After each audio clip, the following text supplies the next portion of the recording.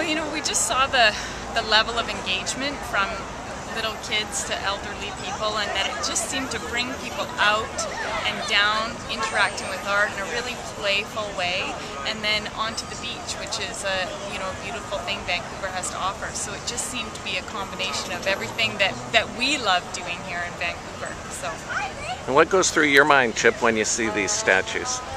Um, fun laughter what I notice is that it, it elevates people to a different level, including including me. I, I can't help but come down. I get a smile, and I know that that must happen to everybody that sees it. Yeah.